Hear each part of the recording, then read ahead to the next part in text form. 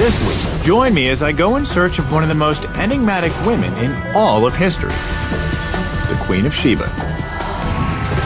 The Bible says she appeared from the desert leading a caravan of riches to the court of King Solomon in Jerusalem. Many cultures claim her as their own. But what's the truth behind the stories? To find out, I'll explore ruined temples in Ethiopia, follow ancient caravan routes through biblical lands, and head into the dangerous tribal no man's land of modern Yemen. We're digging for the truth, and we're going to extremes to do it.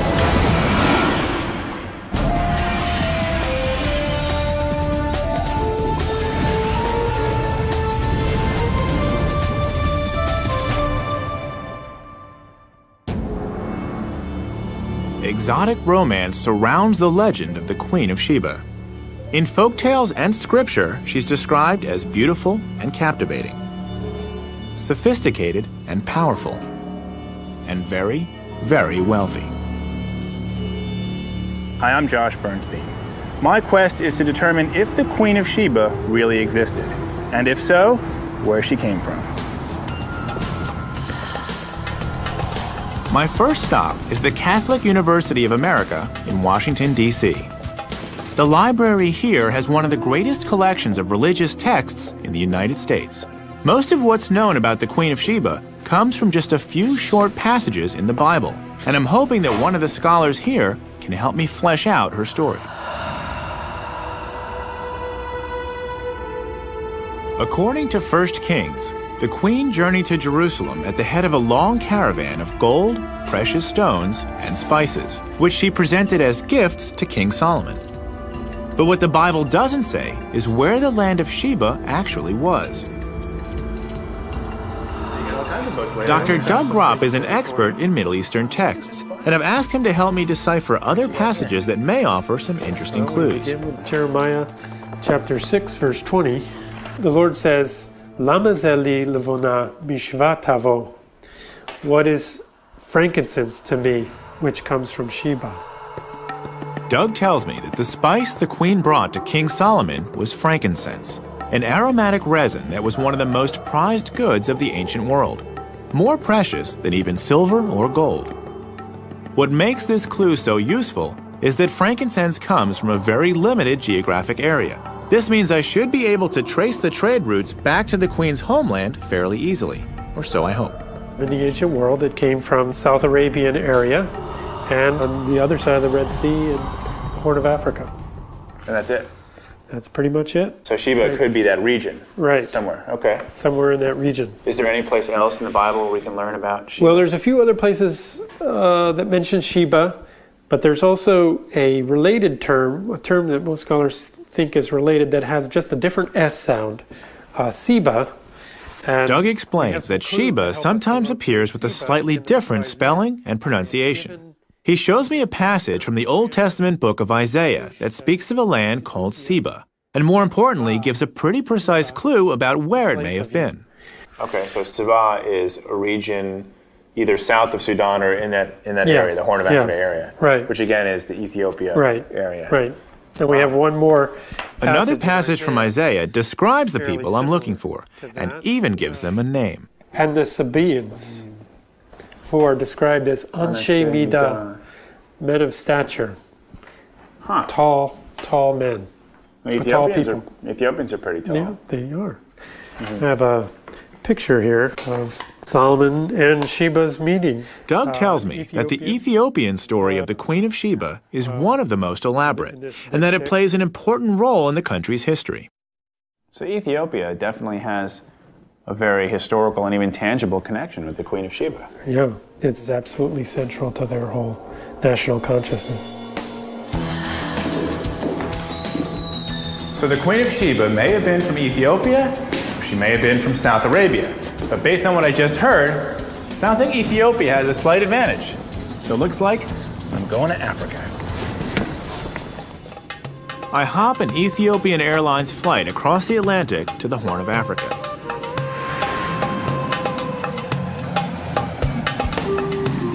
I've been to Ethiopia before looking for the Ark of the Covenant, and I'm really excited to be back.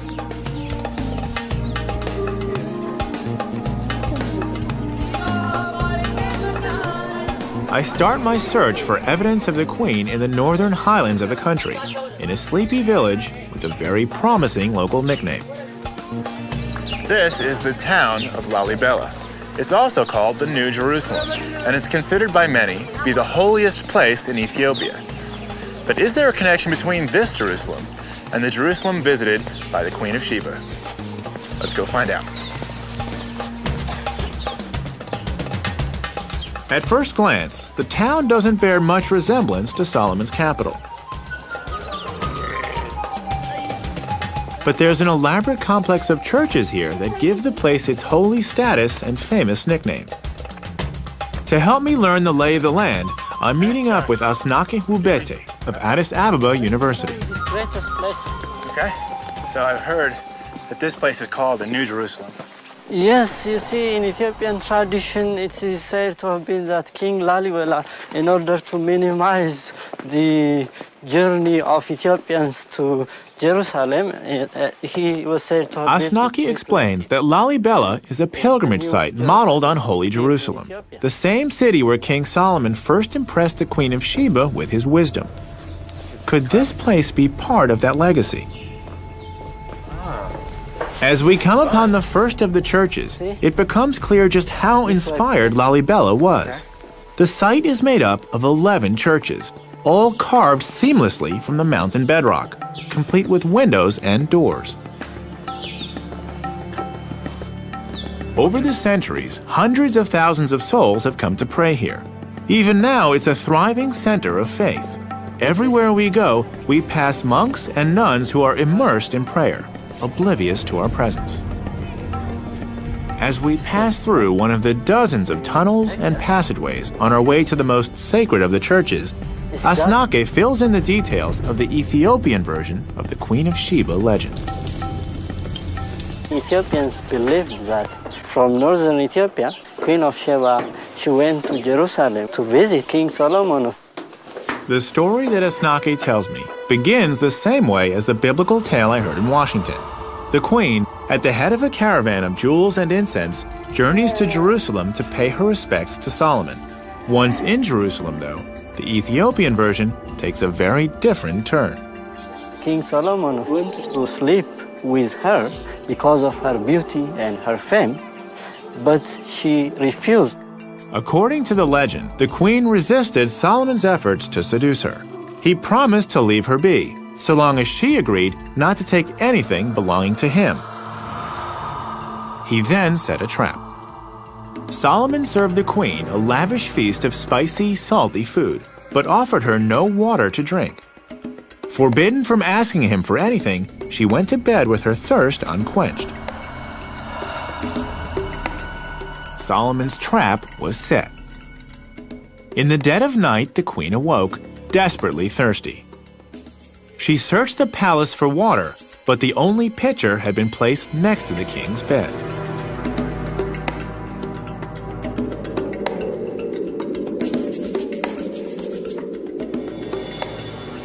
The queen had broken her promise, and Solomon felt entitled to break his. According to the legend, the queen bore Solomon a son as a result of that night. Named Menelik I, he founded the Solomonic dynasty in Ethiopia, a dynasty that lasted 3,000 years and ended only with the death of the Emperor Haile Selassie in 1975. Drawing such a connection is a critical part of Ethiopian history and identity. By tracing their descent to Solomon through the Queen of Sheba, the Ethiopians thus become children of Israel and among God's chosen people. The spiritual importance of this new Jerusalem is even more apparent once we reach our destination the most dramatic church in all of Lalibela. Carved into the shape of a cross, Bet Georgos, or the House of St. George, was the last of the churches to be constructed. The elegant workmanship and fine detail speak to the extra care that was taken in carving it. As we descend through the winding trench towards the entrance, I can't get over how incredible this place is. What's amazing is that a lot of the stone that they had to remove to make those temples had to go out these narrow corridors. Look at how narrow that is.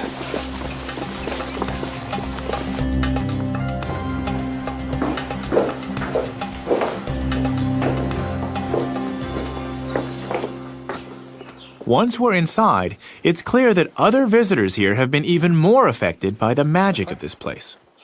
So there are people who Some of the monks spend years living like hermits in holes carved in the wall to be as close as possible to the church and to God.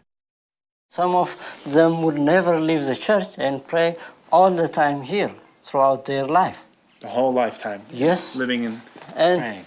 and some of them never leave this holy place.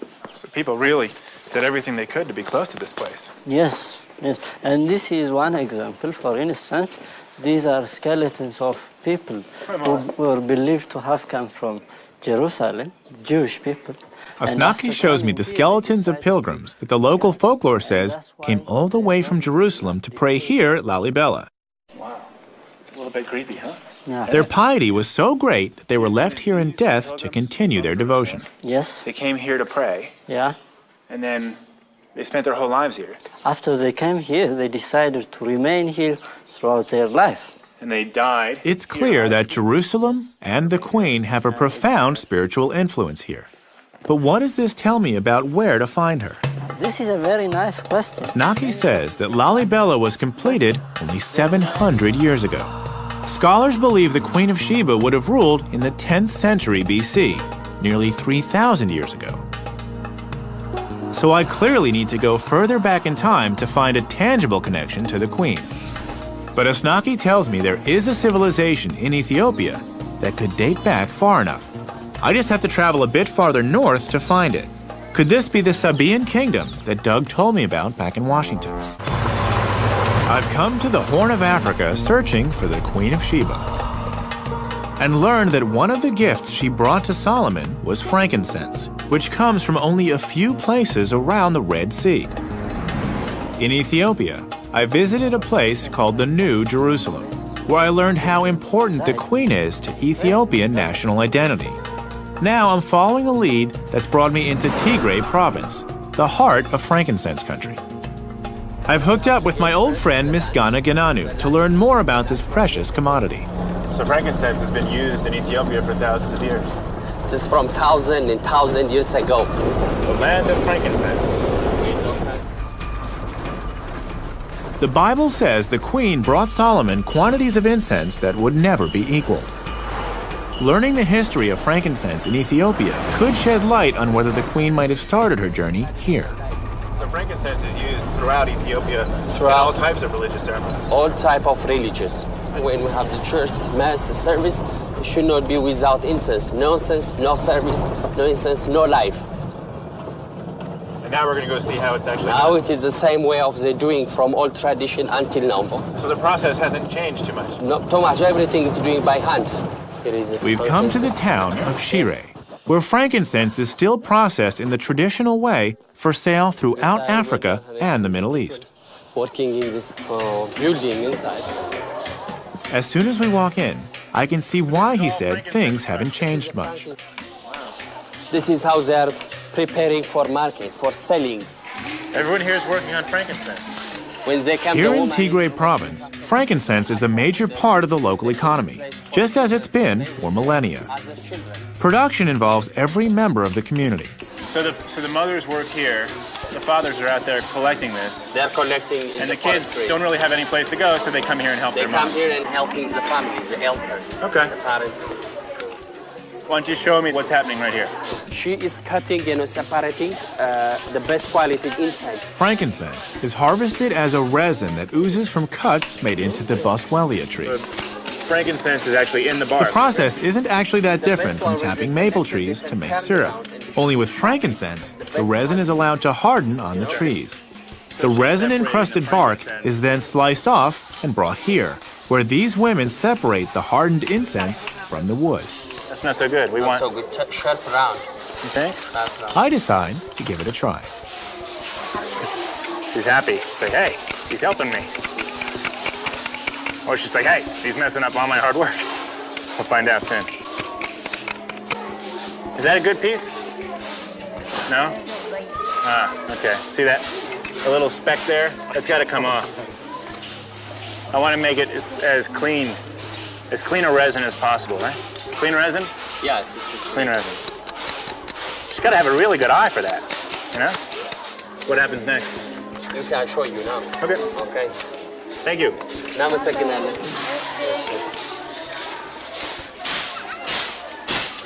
Ah. So this is the second phase. This is the second phase because chop it. Yeah, but after she- now she's separating, you know. Yeah. But she's basically winnowing these pieces of bark, small bits of bark. Yeah. At each stage of processing, the incense is refined until it's ready for market. The highest grades are exported throughout Africa, the Middle East, and beyond, continuing a trade that began thousands of years ago. So this is the product of all their hard work. Yep. Wow. The next quality. So if the Queen of Sheba went to Solomon with this, that was an offering. Of course, there is nothing a gift more than this. You see, This is worthy of a it king. is a wonderful present. It is a more than gold. Wow. If frankincense has been such an integral part of the economy and culture here for so long, perhaps Tigray province could have been the land of Sheba.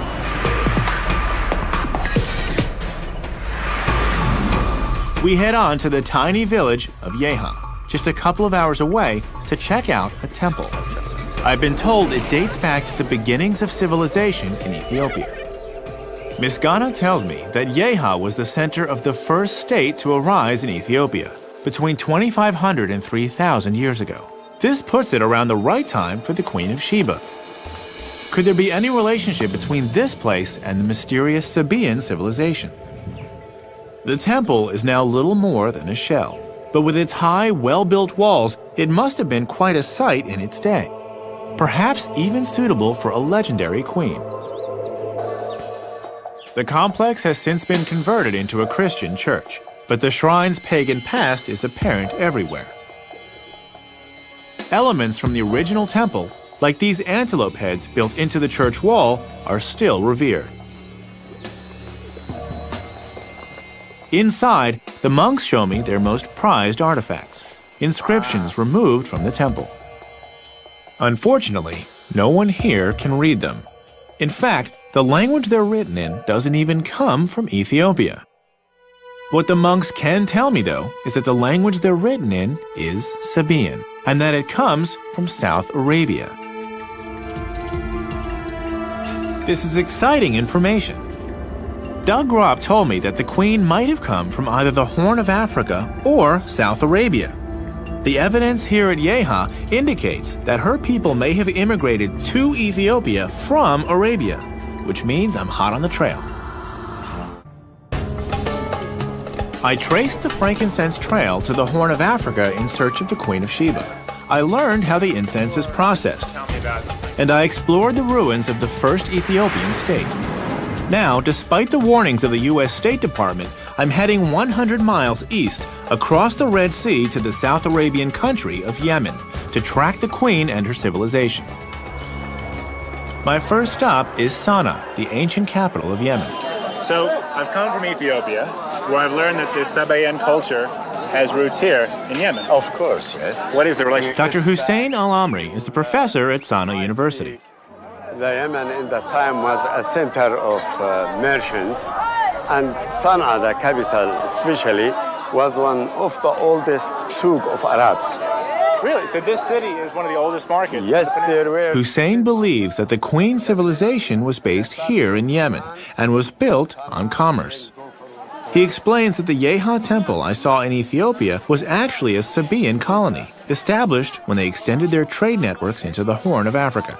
So people have been meeting here for thousands of years. Of course, yes. Buying, selling, Yeah. watching, spending their time. Beautiful city. So tell me about The Sabaean civilization lay at the crossroads of trade and antiquity, controlling the movement of goods between east and west. This is the spice section. Spices from India, gold and ivory from Africa, silks from China, and of course frankincense all passed through the kingdom of Saba before heading north on the caravan routes to the markets of Egypt, Mesopotamia, and the Mediterranean. You seem to sell everything. Special price today, just for you, my friend. But Sana wasn't the Sabaean capital. If I'm to find the queen, I need to head to a city called Marib, just 100 miles east over the mountains. But it might as well be a world away. It's in a very conservative, tribal area of the country that's known for its animosity towards outsiders. I'm told in no uncertain terms I should postpone my visit. In order to even make the trip, I need to find the right escort. Aluze. Al-Uzair store. Aluze. Hussein sends me to the former governor of Marib and the present governor of Sana'a, Abdul Wahed al Bukhiti. Abdul Wahed tells me that the Bedouin who live in Marib highly value their traditional customs. He suggests that before we head out, I should pick up a jambia, one of the large daggers that I've seen nearly all the men wearing here in Sana'a.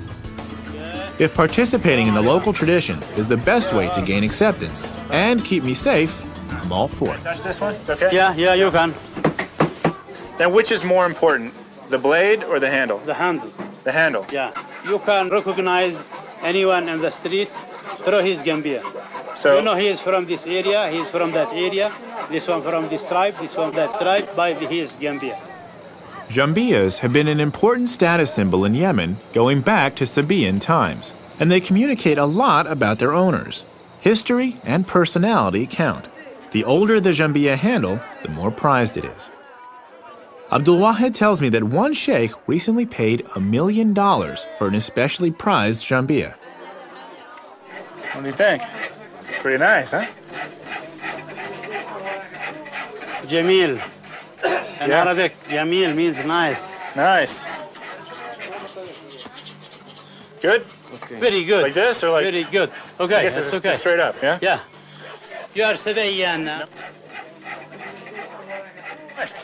Shukran? All right, Now that fun. I've got my Jambiya, Abdul Wahed gives me a lesson in another time honored Yemeni tradition. Cut. We chew it like this. Yeah. You can use it. Yeah, huh? Exactly. Oh, wow. How you taste it? Yeah, it's got a weird taste. Yeah.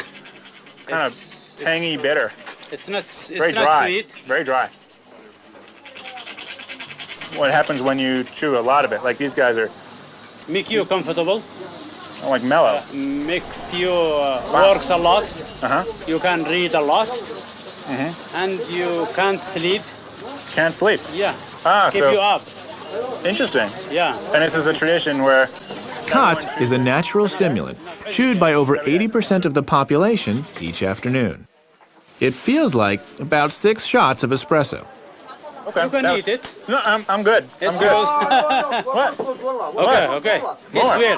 Yeah. What? He swear and God for you to eat it. It's not enough just to taste it. I have to have more. I've got to sign on for the full experience. He swear and God for you to eat it all. Oh my God. So you can do it like this. Really? Uh-huh.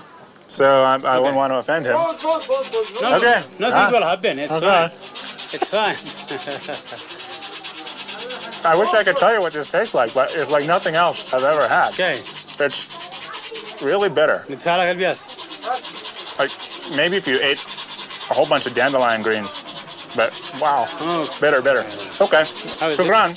Mm. I'm gonna wait until I get some sort of effect, and I'll just float away. Okay, now uh, we can Now that I've had my crash course in Yemeni culture, I'm ready to head into the tribal desert. So I'll settle up with this man here. Okay. I don't know if it's my excitement or the lingering effects of the Khat, but the next morning, as the call to prayer signals dawn, I can't wait to hit the road. Good morning. It's a beautiful day. I've got my jambia, and now I've got to meet Abdul Wahed. We're going to. Shukran. Yalla.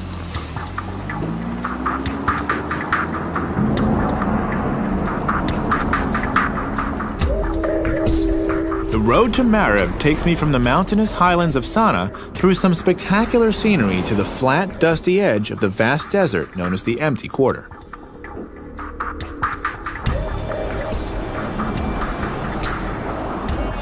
I'm going to meet Abdul Wahed along the route.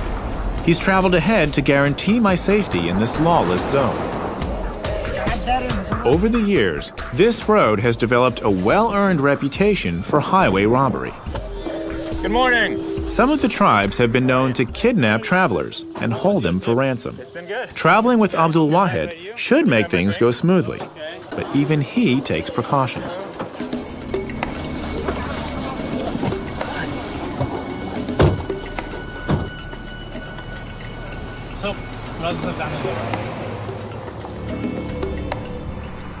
I gotta admit, This is my first time traveling in a car with three armed guards carrying machine guns. It's a little unsettling. You always travel with guards? Huh? You always travel with guards? With armed guards? Yeah. When you come to Marib, you need to have guards. Things have gotten better in recent years, but the 14 checkpoints we passed through along the way speak to the still volatile conditions.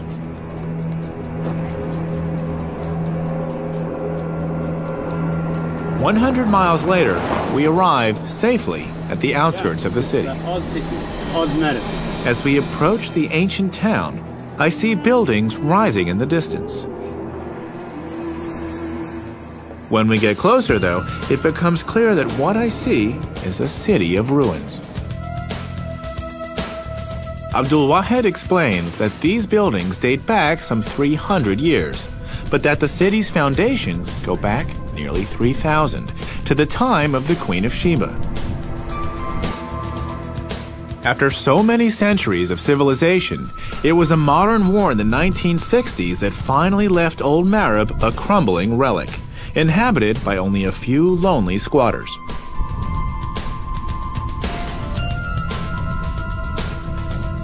As we move on, I can only hope that the rest of Marib's ancient past hasn't met a similar fate, and that something of the Queen can still be found.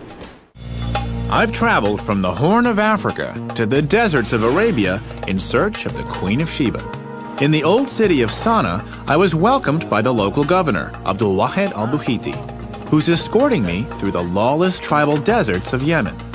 The Bedouin are famous for their hospitality, but hostility can also arise at a moment's notice, which we soon found out. After we left the ancient city of Marib, heavily armed tribesmen surrounded our camp in the middle of the night. We were literally under house arrest. In a place where foreigners are routinely kidnapped, the stakes were very high. Thankfully, Abdul Wahed has taken pains to help me navigate the terrain. Drawing on his contacts from his days as governor here, Abdul Wahid has called a meeting of the local tribal sheikhs so that I can pay my respects and prove my intentions. I make sure to do all the right things. I'm dressed appropriately with my new jambia and a traditional tribal skirt called a futa, and I pay close attention to all the local customs. I notice custom says we eat with our right hand only. Yeah? Mm-hmm. Okay. Yeah. And then the rice, you just kind of grab the rice? Okay. Shukran. Abdul Wahed explains my quest to the sheikhs, and the famous Bedouin hospitality quickly takes the place of the hostility, at least for now. Cool. War.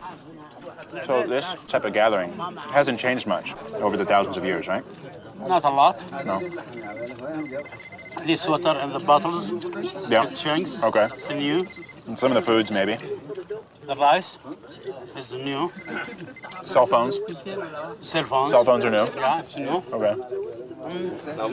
After dinner, we sit around the fire to share stories about the Queen of Sheba that have been handed down through generations here in Marib. يشتي يشت... It's okay. كويس Ah, تمام very nice, he هذا said. يم- يمني Yemeni, yes. يمني My new jambia goes over well. In Ethiopia, the legends I heard about the Queen of Sheba were very detailed and played a big part in defining Ethiopian national identity. Now that I'm here in Yemen, I want to hear the Yemenis tell her story and find out about the place she occupies in their history and culture. They believe she came from the far desert, and she is for sure from Marib. They feel a honored because Queen of Sheba from their land, from their hometown. I hear tales of a beautiful young woman named Bilkis, who appeared from the dunes to assume the throne of the kingdom of Saba. To the sheikhs, there's no doubt that this kingdom here in Marib and the biblical land of Sheba are one and the same.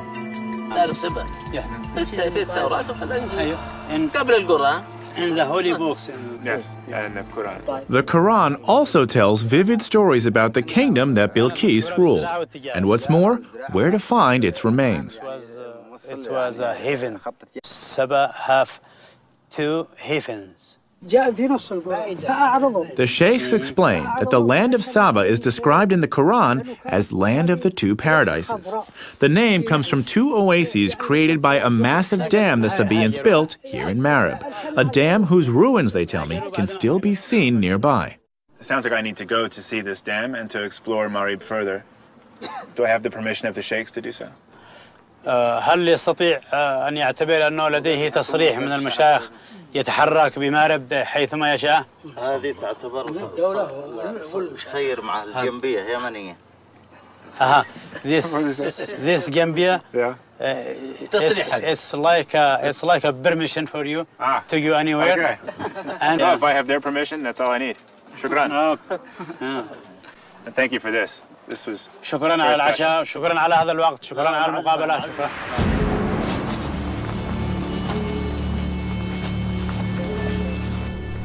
My evening with the sheikhs went over very well. Not only did I gain their permission to explore their land, but the stories they told me about the Queen of Sheba have inspired me. Now, my goal is to search for archaeological evidence to support their stories. I've arranged to meet archaeologist Zaydun Zaid at the Marib Dam to tell me more. So this is one of the towers of the Dam of Marib. Yeah, this is the north tower, that's right. Where's the uh, other one? The south tower, just ahead of your eyes, that part, you see it? There, the south one. So there was a wall going The dam's wall stretched from where we're standing all the way to the South Tower, over 2,000 feet away. That made it about twice as wide as the Hoover Dam.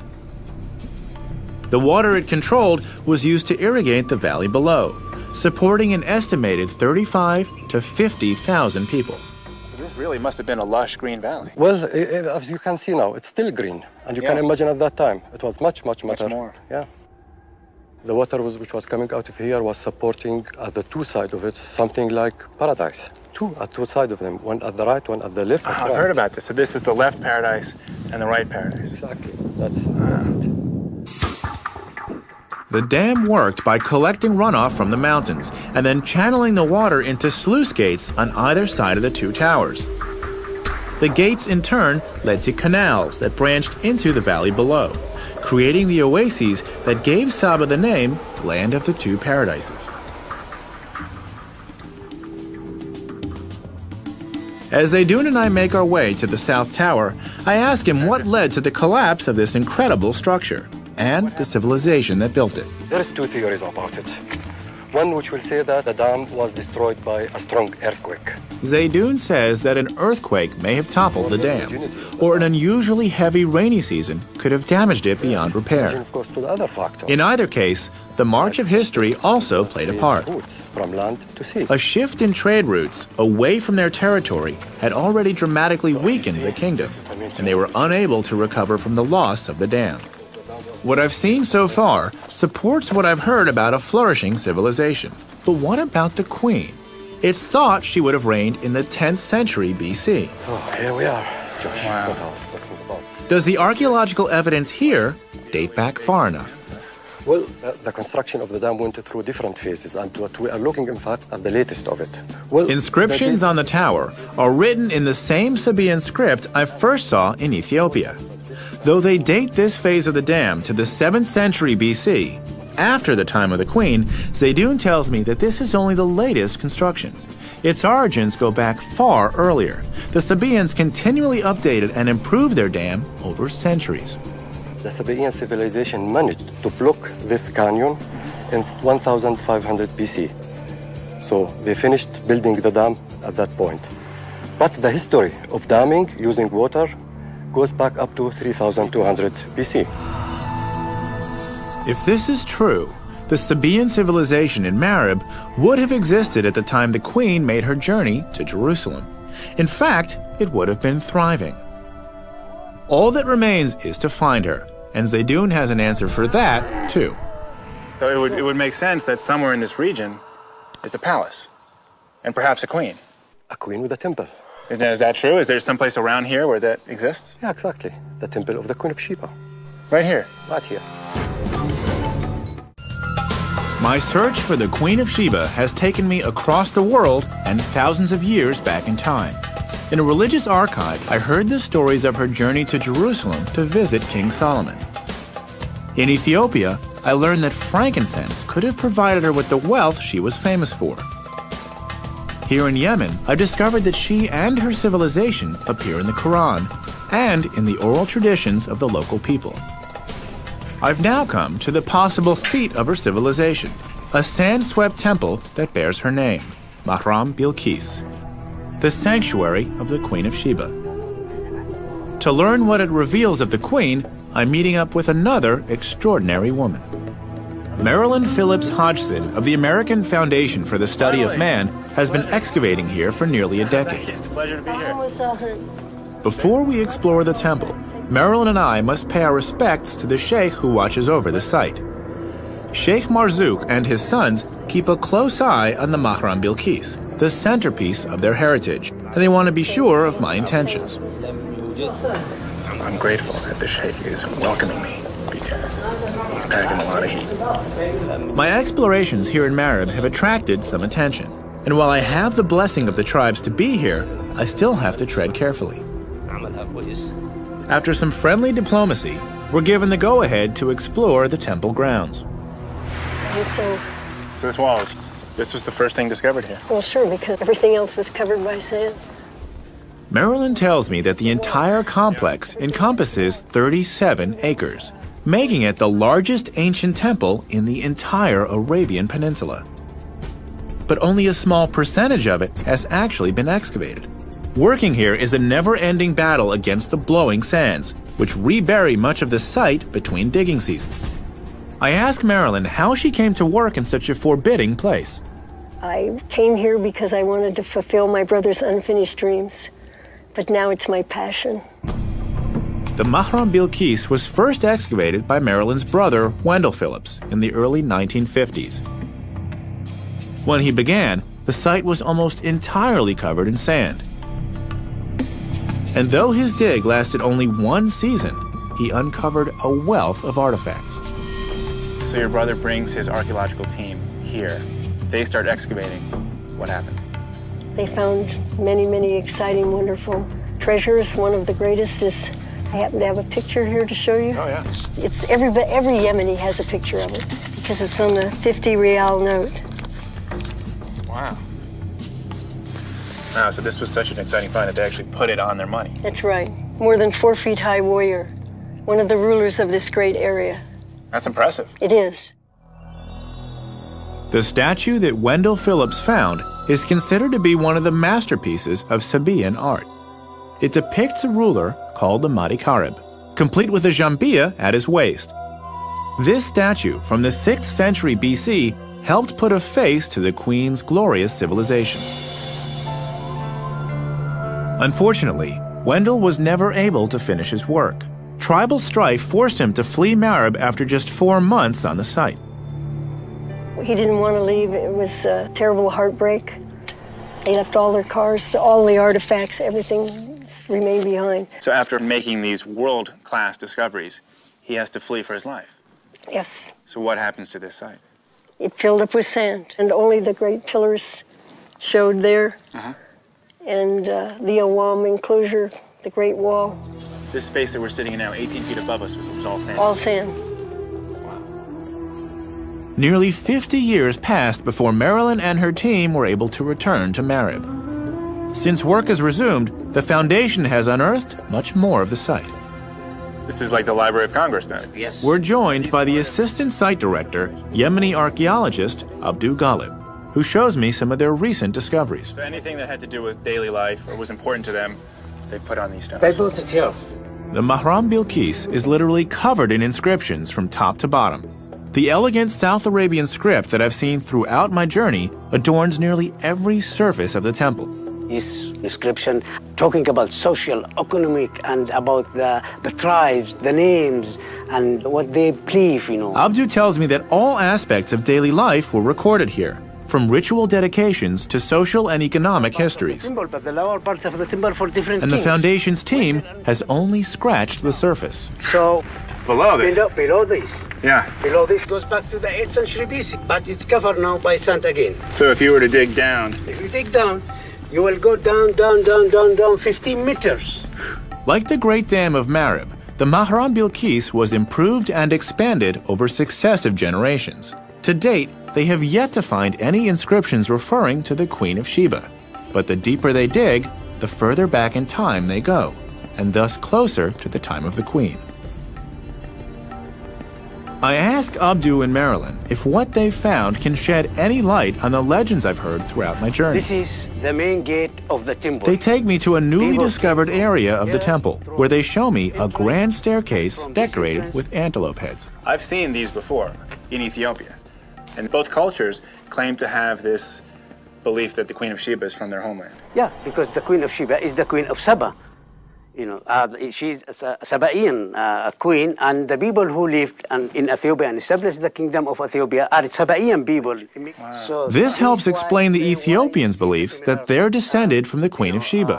In a way, they are, or at least from her civilization. why you see the similar decoration and And language, writing. yeah, and So writing. that this was the center. I mean, actually, we're standing at the center of the Sabaean civilization. yes, And if the Queen of Sheba, which sounds like it, if the Queen of Sheba lived here, then her influence would have spread throughout her domain, and that, you said, went into Ethiopia. Exactly. And that's why they believe that, they, that she was their queen as well. yeah, that's that's right. It is, it, you know. Marilyn and course, Abdu have you. one last thing they want me to see. At the top of the staircase, they bring me to a wall covered in sand and invite me to help them dig. Okay. Abdu explains that they rebury this treasured artifact after each season to protect it from the elements. Look at that. That's a face. As we clear away the sand, I can see why they take so much care. Who found this? Me and Marilyn, when we were digging here in uh, 2001. That must have been pretty exciting. Yeah, it oh, was. It was very exciting Look at here. that. So Every time you see it, what do you think? it became more beautiful. More beautiful. Yes.